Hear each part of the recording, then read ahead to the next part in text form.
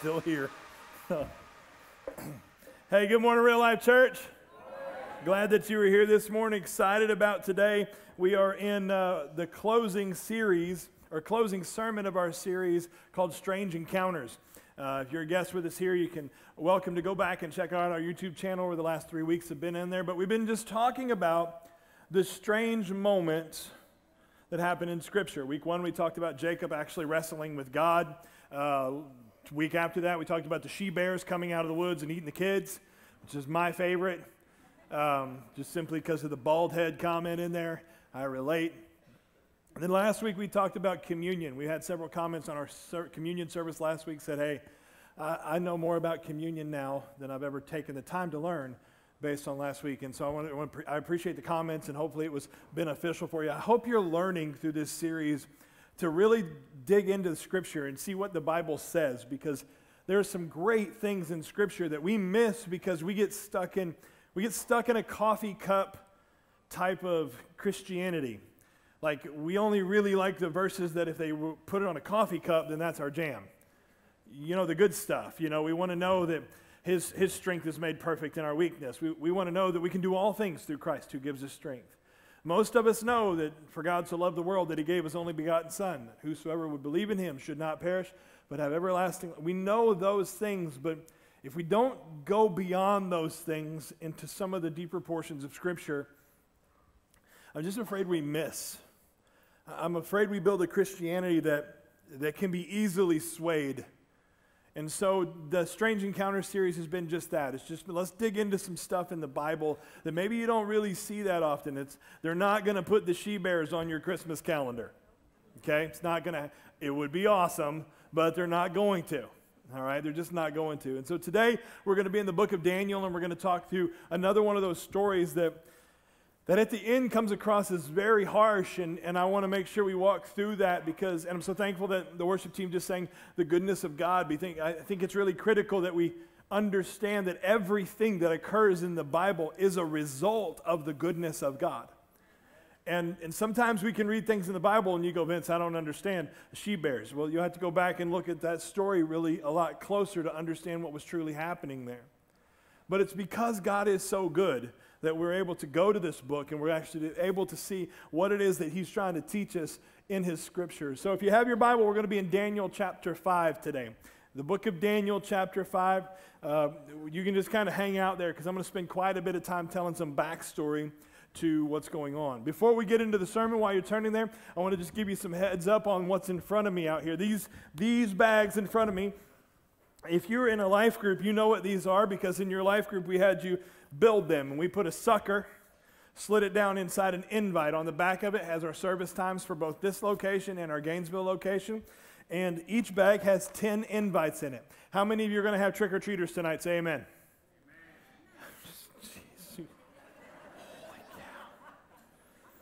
Let me, let me, let's back up here real quick. We, got, we have to assess this situation. How many of you would have trick or treaters? You're just grumpy and are going to leave your lights off.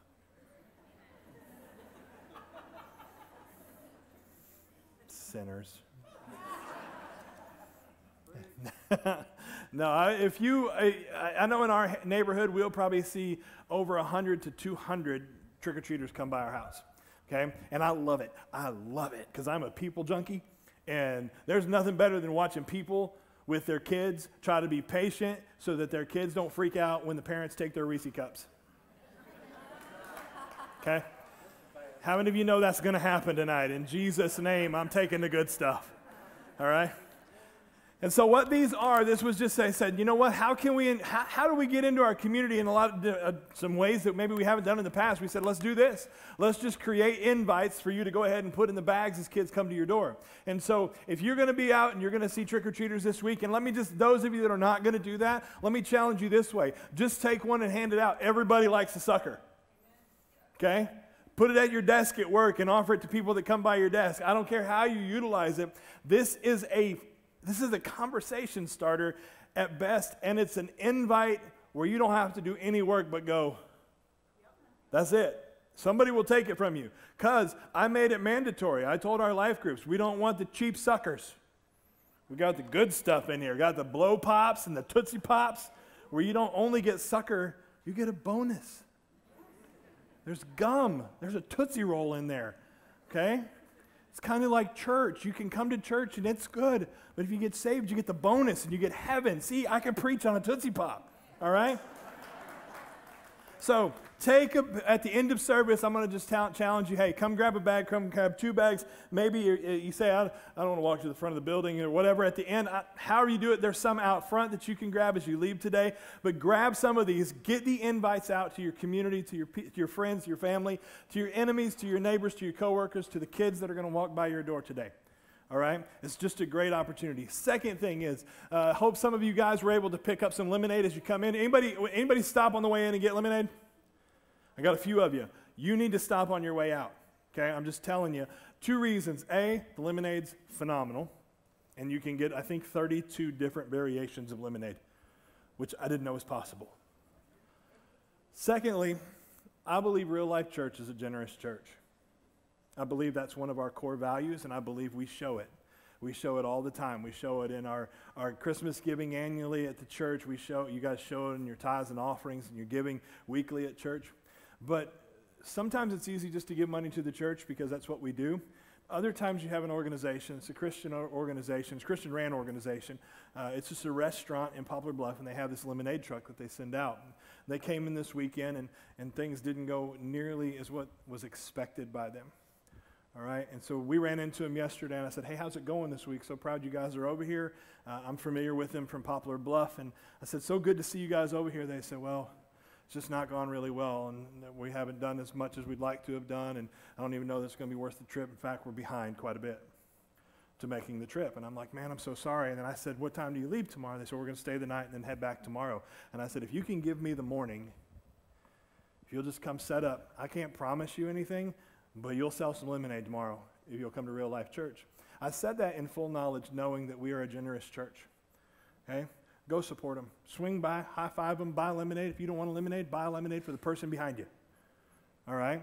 And support that local business. So support those people because they're great people. They're going to be generous with it on the other side of it. And so it's just an opportunity for us to be the hands and feet of Christ to someone that's not necessarily from our area, but someone outside our area that needed real life church today. So, y'all with me on that?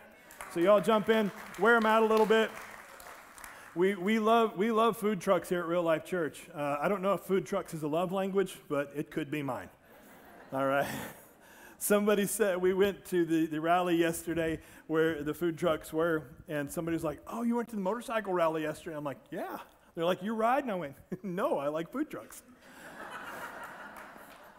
That's legit why I went. I just, the cool motorcycle, dude. Um, where's the hamburgers? That's that was real. I was at. So uh, I hope there are food trucks in heaven. I think it's going to be great. So now that you all know where we're at, do that after service. Grab a bag of this after service. Let's get into the sermon today. Strange encounter. The book of Daniel itself is a strange encounter. All right? The book of Daniel is broke down in two halves. The front half of it is technically history. It's the history of Daniel and some of the other Hebrew children being taken into captivity. They took the Hebrew men into captivity, and they took the cream of the crop and they brought them into the palace or into the, the, the royal city of Babylon there to where they would be able to ingrain them with their teaching. And so, leaders at the top, let's give the leaders the right thing to think and then it'll trickle down into the rest of the population, was the mindset and the ideology behind it. So they took Daniel and some of the other guys in, and they said, We're going to start ingraining our methodology. In fact, they went so far as to change their name. Uh, we know him as Daniel in Babylon, they knew him as Belteshazzar, which is, I'm really thankful we call him Daniel, aren't you? And so uh, we, they changed his name when he was there, and they started giving them these um, this list of things to do. You need to eat these certain foods. You need to think this certain way. And so Daniel had this, uh, he said, we're not going to eat what you want us to eat. And he said, in fact, if you want to take half the group and you feed them, I'll take the other half of the group and we'll eat what God tells us to eat. And now, today, we have the ever famous Daniel fast and the Daniel diet that a lot of people do.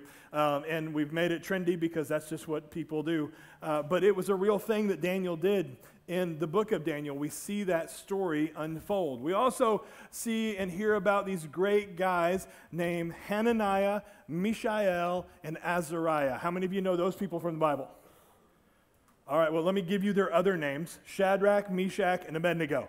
How, now, how many of you know who I'm talking about? Yeah, the fiery furnace kids. Like these guys, it was a great story. If you grew up in Sunday school at all, this was like Sunday school Super Bowl story. Like, if you needed to really get the point across that God was a good God, then you told the Shadrach, Meshach, and Abednego story. Well, that happens in Daniel, the book of Daniel.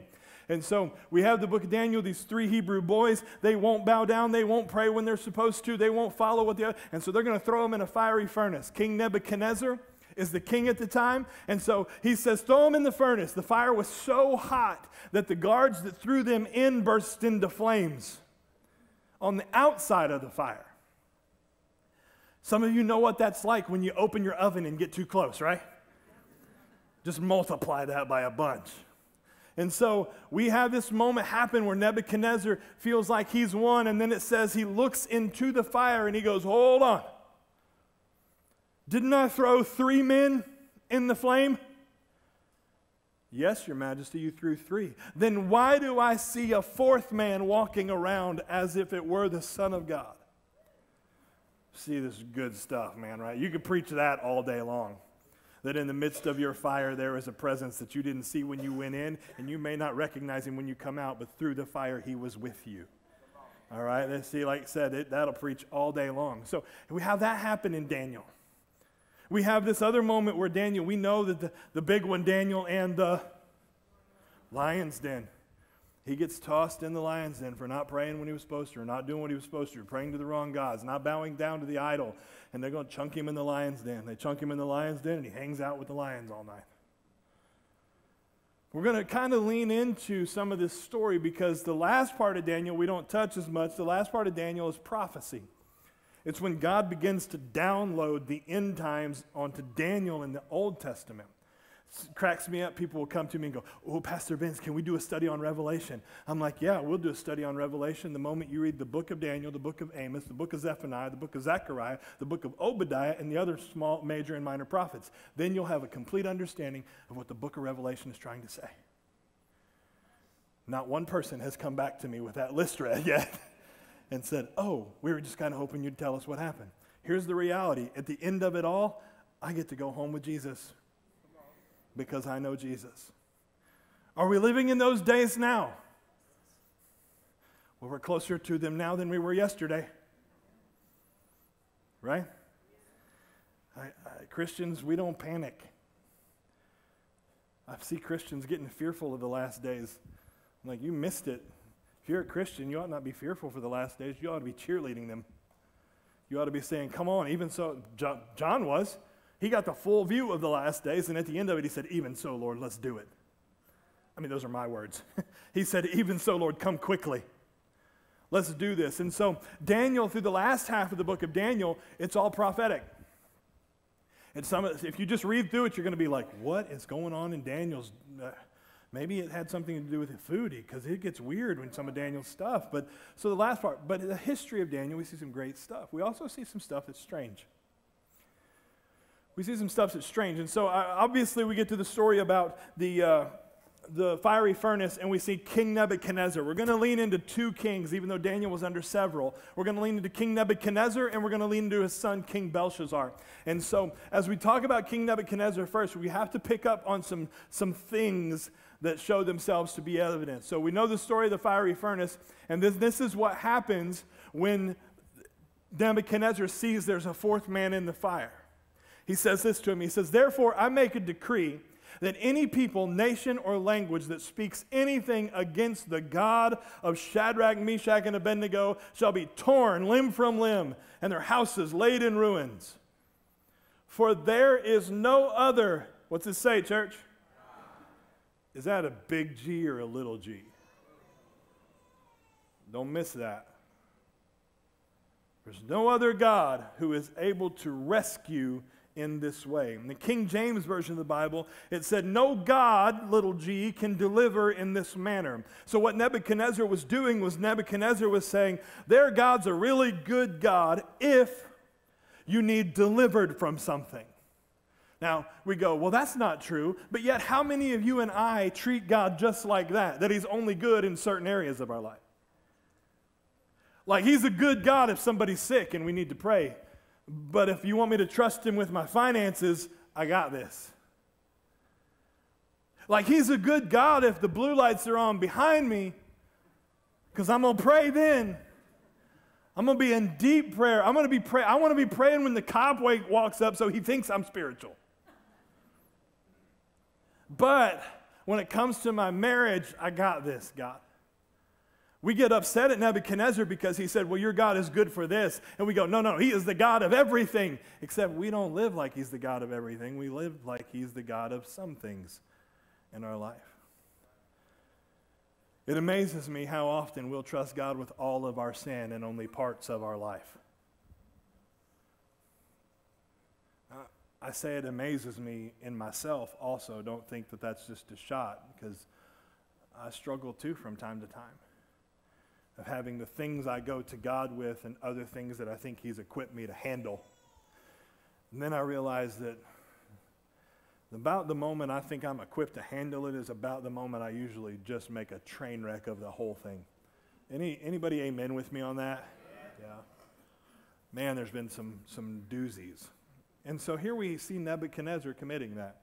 He does it later on, too. In the next chapter, we see in actually chapter 4 of Daniel, we see Nebuchadnezzar. This was chapter 3 where the fiery furnace happens, and Nebuchadnezzar said, Daniel's God, Shadrach, Meshach, and Abednego's God is a good God if you need delivered. And then chapter 4 happens.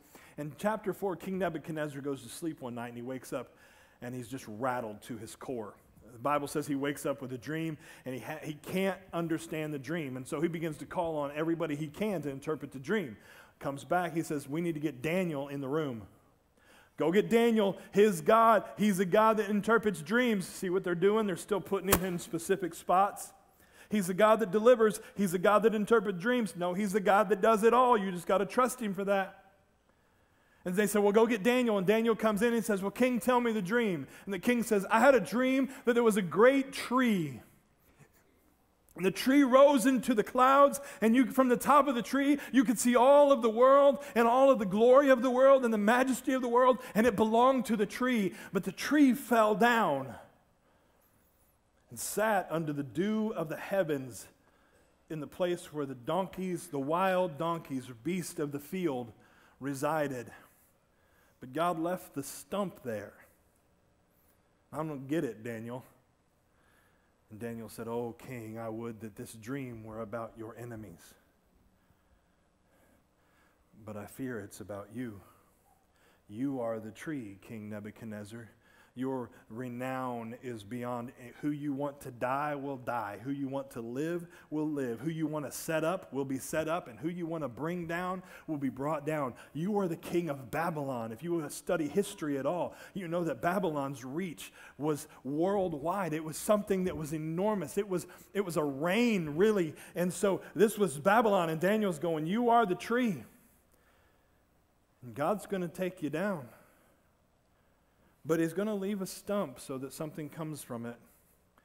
And for seven years, you will live among the beasts of the field, and the dew of heaven will soak you every morning. And you know what King Nebuchadnezzar did about it? Nothing. Said within a year's time, Nebuchadnezzar was walking on his balcony and he was looking out over the great kingdom of Babylon. And as he looked out over the great kingdom of Babylon, he said, Look at the king in which I have established. Look at all that I have done. May it be for my majesty. And in that moment, God showed up.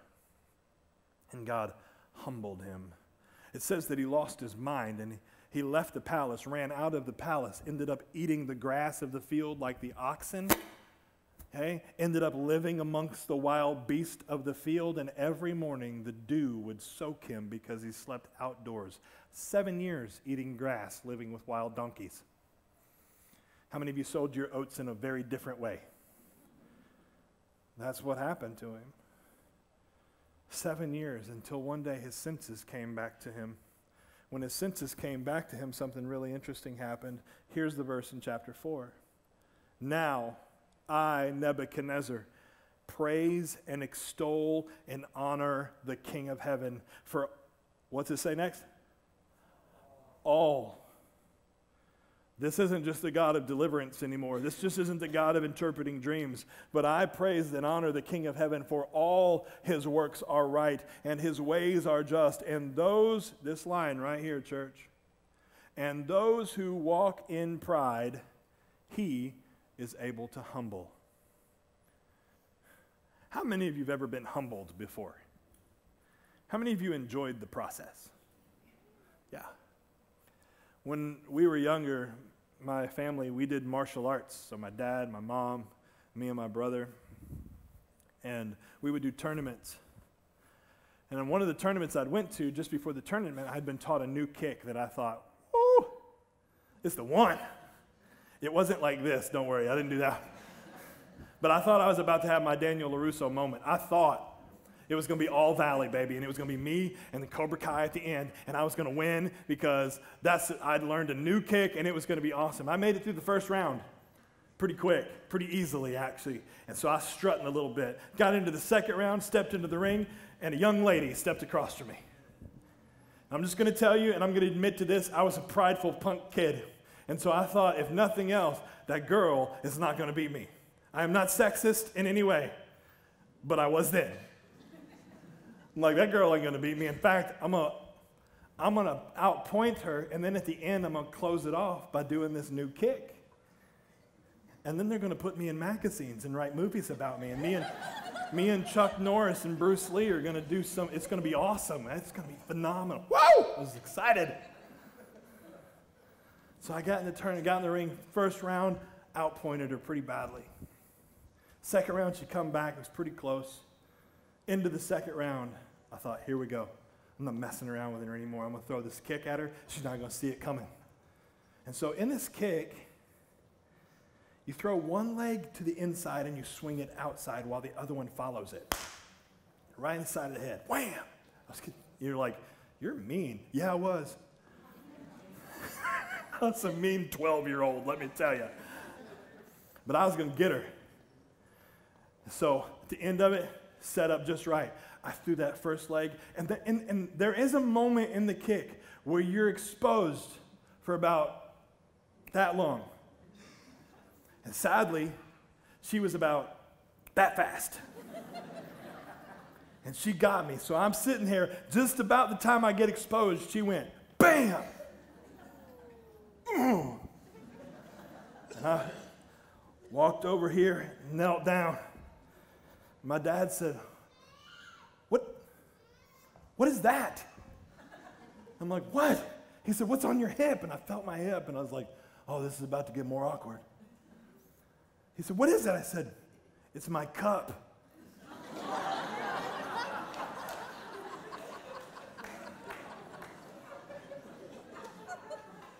I, it's not hilarious. Listen, I'm feeling no grace or mercy from my flock right now. So my dad said, You got to fix it. I'm like, I'm in front of the entire auditorium of people here. I'm not going to fix this. He's like, You got to fix it. You can't do the last round without it. And I'm like, I don't want to do the last round. She just kicked, she just leveled me right here in front of God and everybody. I don't, I don't care about Daniel LaRusso. He's a liar.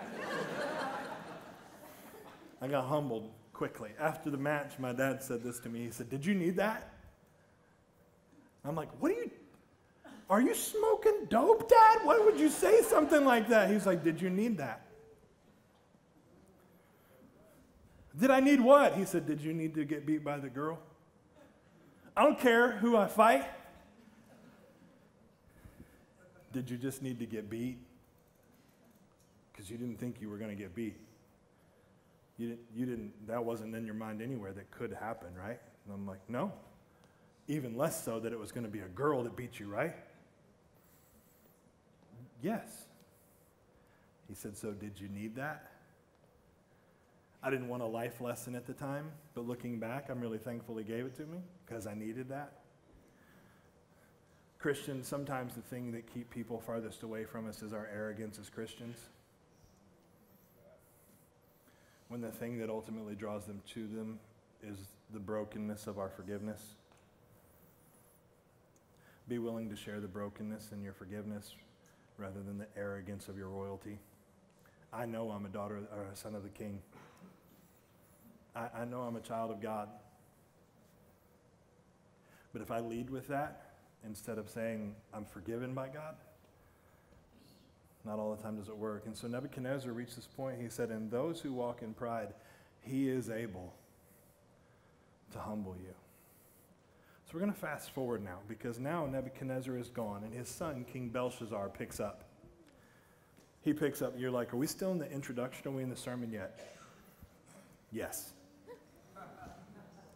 So Belshazzar is born, and Belshazzar begins to raise up. Belshazzar seen this. He watched all of this happen with Nebuchadnezzar. He was born before it happened, before he lost his mind and for seven years lived in the fields with the beast. He watched it happen and learned nothing. So we see Belshazzar, he takes on the throne, and he's having a party one night, and then there's a throwdown affair. There are a thousand people there. His wives are there, his concubines are there, the palace people are there, his, his whole entourage is there. And the Bible actually mentions there are thousands there. And he says, Hey, hey, I remember when my dad took the temple in Israel, and it was filled with gold and silver we should go get all the gold and silver cups and bowls and let's get wasted drinking out of that. So he was taking the things from the temple of God and going to get plastered out of them. Now, I want to just tell you this in case you didn't know or you weren't aware. God is a gracious God. How many of you know that to be true? That God will show you grace when you obey. It happens. God will show you grace when you obey, disobey. But there will come a line in the sand that you will not cross with God, and He will check you. And Belshazzar crossed the line. He said, I'll be disobeyed, but I won't be dishonored. I'll be disobeyed, but you won't disrespect the God of heaven and earth.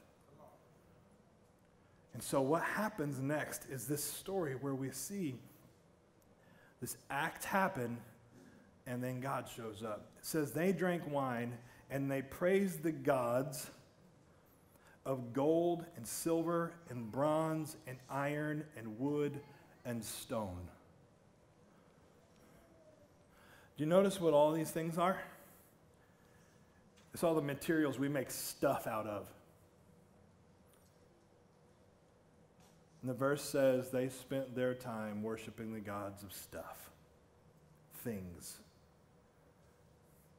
And as they drank from the gold and silver that God had consecrated for the temple, which there was a process to that if you read the Old Testament, as they drank and made merry and thought flippantly of the God of creation, they worshiped the stuff around them. Look at what we've made. Look at what we've done. This is what will make us happy. This is what will bring us joy. This is what will bring us uh, a sustenance and, and supply. This is the stuff. And God says, You just crossed the line. And so in verse 5, it says this And immediately the fingers of a human hand appeared and wrote on the plaster of the wall of the king's palace, opposite the lampstand, and the king saw the hand as it wrote. How many of you know the phrase, the handwriting's on the wall? You know, oh, the writing's on the wall. That's where this comes from. Is this moment in Daniel chapter 5. You say, well, what did, what, what, what did it say? What did it say? What did it say? Well, we'll get there, don't worry. But this is the moment where the king realizes something out there is much bigger than him. Okay? Because he saw the hand appear, and it's only the hand. There's not a body attached to the hand. There's not, and I don't know how it wrote on the wall. I don't know if it etched it into the plaster. I don't know if it was ink. I don't know if it was blood. The Bible doesn't say, so please don't add to it. It just says that a hand appeared and wrote on the plaster of the king's wall. And King Belshazzar reacted I want you to catch that. He reacted the same way you and I would. Then the king's color changed, and his thoughts alarmed him, and his limbs gave way, and his knees knocked together. Can I get an amen? amen? Listen, if a hand appears on the wall behind me, all of you are going to go, ah, it's amazing what they can do with video nowadays. But if you turned around and looked at the drywall behind you and a hand appeared and wrote a message on that wall, how many knees are knocking in the room right now? Mine are. How many times have you ever truly been terrified? Anybody been truly terrified? Yeah. My boys went to the haunted house. They, they, they like to go and be scared and terrified, which I don't understand. Um, I don't get it. Uh, some, how many of you are scary movie people, haunted house people? Hands up. If that's you, just put it. It's okay. You don't have to be ashamed of it. It's all right. If that's you, hands up. I'm going to see it again. All right, good. Don't be ashamed you're a little crazy, all right?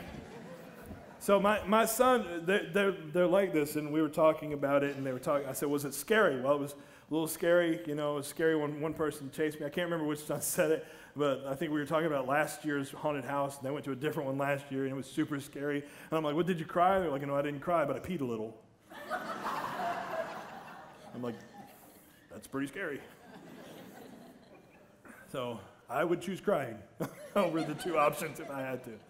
So, uh, but I, I can remember being terrified. My dad used to terrify me as a child, not, not in an abusive or, or unhealthy, well, it was unhealthy, but um, because like he would hide from me, and my dad was uh, heating and air guy. So there was moments where we'd be working on the furnace in our house, and he'd have the breaker shut off, so I'd be pitch black, and I'd, he'd call for me, Vince, come here. So I'd run to try to see what dad needed. And I was six years old. I'd walk into the, the back furnace room, all the lights pitch black, and he'd poke his head around the furnace with the flashlight under his chin and go, ha ha, like that. so I can relate with my son that peed a little. I can, I get it. I can remember being scared. Then, like, then there are moments that we're terrified, and we're terrified because we don't know what's next. And that's where Belshazzar is. He's terrified because writing doesn't show up on the wall just randomly. It just doesn't show up uh, randomly. There, there's something that happens here. And so we see this moment happen. And so Belshazzar does what only he knows to do. He calls all of his musicians, he calls all of his people together, he calls his sorcerers, he calls his, his uh, doctors, he calls his astrologers, he calls his scientists. If you, if you look in the Old Testament and you study the language, what you'll find out about the word uh, sorcerer is most of the time that word breaks down to the word pharmacist. And so what's happening is he's calling anybody that can mix a substance to help him figure out what's been written on the wall. Now, here's the interesting part there were people there that could interpret the words, they knew how to translate the words on the wall, but they didn't know how to tell him what it meant. How many of you have ever went to counsel for people that might give you good advice, but it's just not God's advice? Because they may tell you the words that you need to hear, but they don't have the intent and the heart behind it in the right place. And so we see here this happening with Belshazzar. He calls for everybody. So finally, the queen walks in. Now, the queen is not Belshazzar's wife, the queen is Belshazzar's mom. And she said, I know a guy. He talked to your dad a lot. When your dad, Nebuchadnezzar, had some issues, when he would have a dream or when he would have something crazy go on that he couldn't figure out, he always called for the same guy. Well, who was it? His name is Daniel. You need to bring him to the house. And so they call for Daniel, and Daniel comes to the house. And he walks in, and Daniel looks around the room, and Belshazzar says, Daniel, if you will interpret this, I will give you the purple robes and riches, and I will make you the third highest ruler in all of Babylon. And Daniel said, You can keep your stuff, but I'll interpret it. You can keep it, I don't want anything over my head when I tell you what it says. But I'll interpret it. And so he just interprets the words and he says the word mene.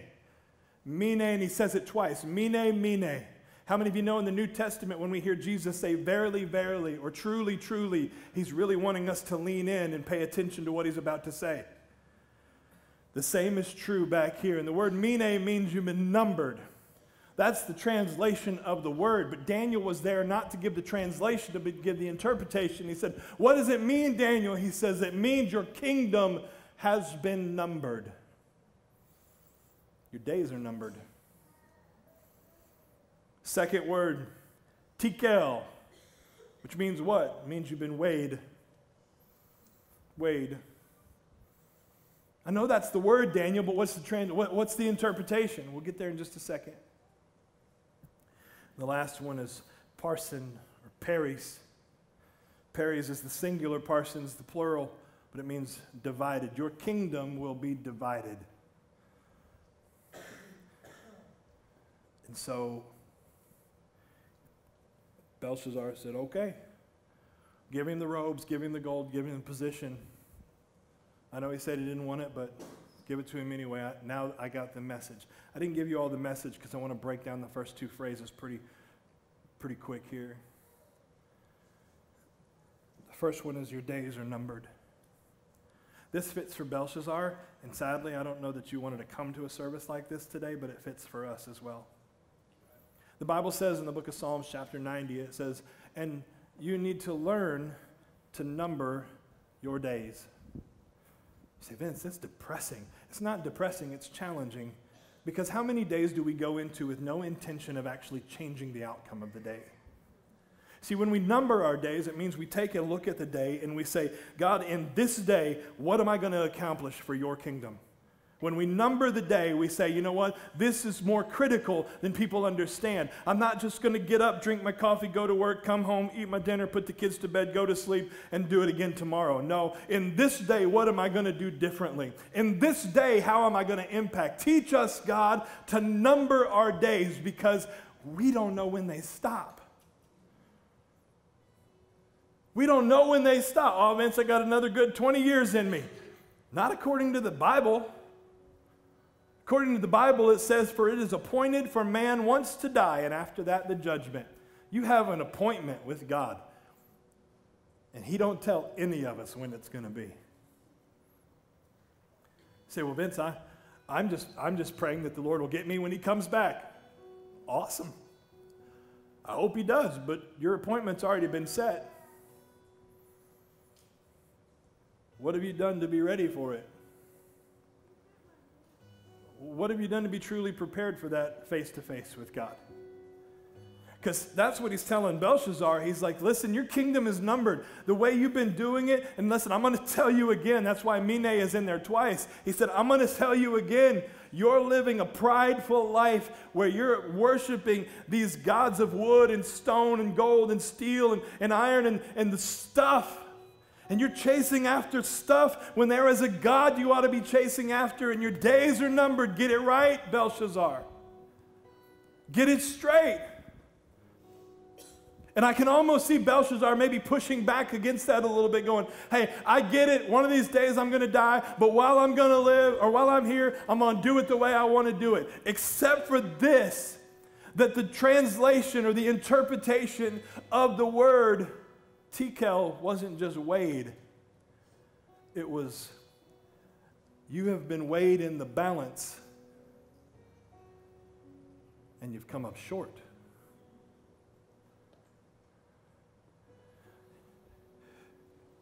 You don't have enough on the other side if you're only depending on you to get to the other side. It's one of the most terrifying phrases in Scripture to me. Second only to depart from me, you worker of sin, I have never known you. That phrase is hallowing. And, and, we, and it should be. It should be. But the problem is, we as Christians, we get so excited when we realize that we get to hear, Well done, good and faithful servant, enter into thy rest. We're excited, so excited about that that we forgot that our neighbor's only option at this point is depart from me unless we get in their way. Unless I step in the way of saying, you know what, I've got to get in the way. I don't want you to hear depart from me. I want you to hear enter in. So let me tell you about Jesus. It's the same statement that we hear in the Old Testament when Belshazzar hears this phrase You're coming up short. But I'm a prophet of God, and you can call out to him like your dad did. You can call out to him, Belshazzar. You can say that he is the God of all, and it is his word and his will and his way that controls everything. Or you can carry on. But I'm telling you, you've been weighed in the balance and you've come up short. You say, Vince, what does that mean for us? Let me just tell you the God's honest truth. I preach roughly 150 to 175 times a year. I think I do a pretty good job. And I think that there are times when I go, Lord, I'm doing your work, and I still come up short. I teach a life group and have a great time with my team in there. And guess what? At the end of it all, if that was what I came to God with and said, I preach and I lead a life group, I still come up short. God, you blessed me with kids and kids that are mine, kids that are not mine, kids that I'll claim as mine, and I've tried to be a good influence in their life, and I've tried to show them the gospel. And at the end of the day, I will still come up short.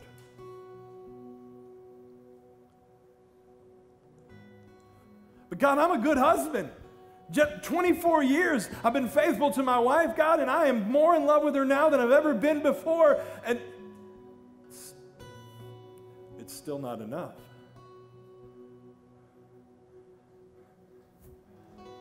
If I were weighed in the balance right now based on me, it would still come up short. See, Vince, this is not this is not a pleasant sermon. Oh, it is. You see, because God knew we would come up short. God knew there wasn't a way for me to get to Him on my own. He knew there wasn't there was nothing in me that was going to be good enough to get there. And so Jesus says, "Father, forgive Vince. He doesn't know. He doesn't have enough to get to you without me, but he's mine." He's accepted me. And so now, don't put Vince in the scale, put me in the scale. And when you put Jesus in the scale, the whole thing shifts.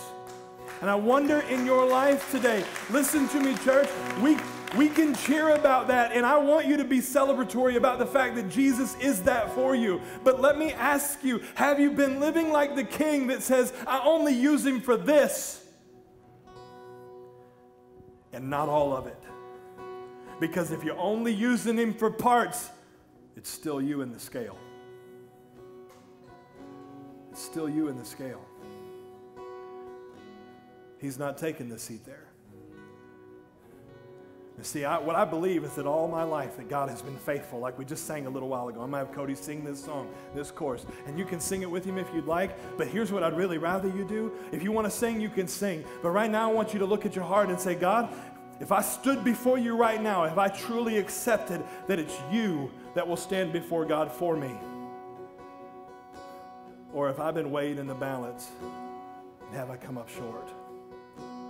Have I been weighed in the balance and I've come up short? I don't know your life right now. I don't know what things you're walking through, but what I'm asking you to right now, before we leave today, is you take a moment and you just bow and you'd say, God, in my life, have I trusted you with the scale?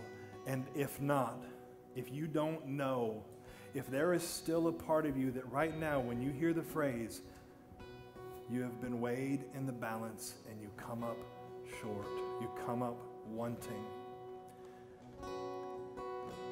If that stirs your heart in any way, you need to move.